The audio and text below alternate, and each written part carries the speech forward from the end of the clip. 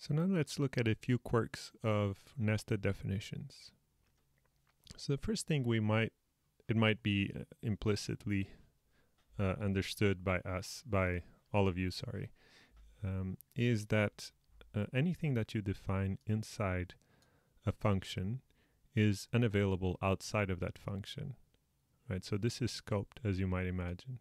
So the scope of a function means basically, you know, the body of the function. Any variable you declare there is unavailable outside of that function declaration, right? So in this case, I define a z, a temporary value z, and I return x plus z, which would be x plus 3. Uh, meaning I cannot use z outside. So this z does not exist, does not refer to the, the z defined inside f. Right, and this is something that is common, um, known as lexical scoping, and we'll actually go into a bit more detail about this. For now, let me just write the example. Uh, let me just do code errors dot racket. Okay, lang racket, and then I'm going to do this example, and I want to just show you the error.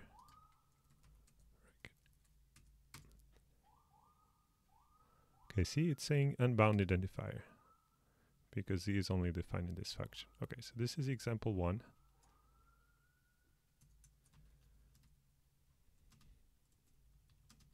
Okay, so next, let's look at the next slide.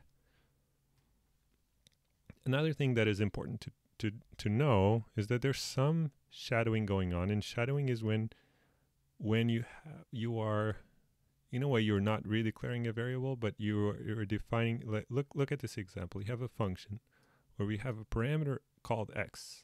And what we do is we define a, a local variable also called x. And what Racket does is it will ignore whatever value you had before. And now, you know, in this in this function call, this x here in blue actually refers to the closest definition of x right? So in this case, it refers to this x, but not the parameter, so the local x.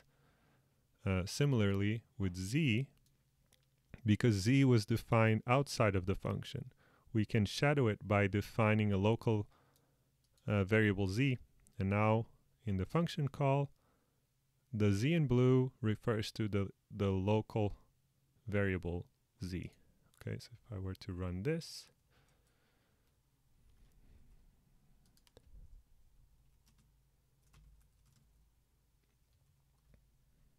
Okay, and this might be, sometimes there are mistakes created because of this, right? Because if you forget that you somehow defined a parameter and then you define a variable with the same name, you kind of lose the, the parameter value. So it's something to be wary. There's no error. You just, values are silently ignored. And this is true also in other programming languages, such as Java, for instance. Um, so in this case, what we have we have z, which is 10, and here x, so we're calling it here, so therefore here x equals 1, uh, but here, hereafter, x equals 3, and we also know that um, z equals, sorry, z equals 10, right? And hereafter, z equals 20, and now x equals 3, and therefore the result is 23 right because x c is 23 that's why you get 23 okay and just so you believe me I'm going to change this to 30 so this would be 30 result should be 33 and indeed it is. Okay so now let's roll back roll back back. Call it again. Still working. Okay. Let me comment this out. However, and this is where the the subtlety becomes a bit more annoying, you can cannot redeclare a variable. Okay, so if you write it, if you write this code, okay, and if you try to call it, Actually, I don't even think you need to call it. Yeah, if you try to define this function, it does not work because you're redeclaring sorry, redefining a. That is different than shadowing. And that is disallowed. And you will get an error. So it says duplicate binding name, right? So if you have an A here, you comment this A, this works. This is completely fine. But if they're in the same scope, meaning in the same function, or at the same level of the module, you'll also get an error. So if I were to do a plus 1, that also gives me an error.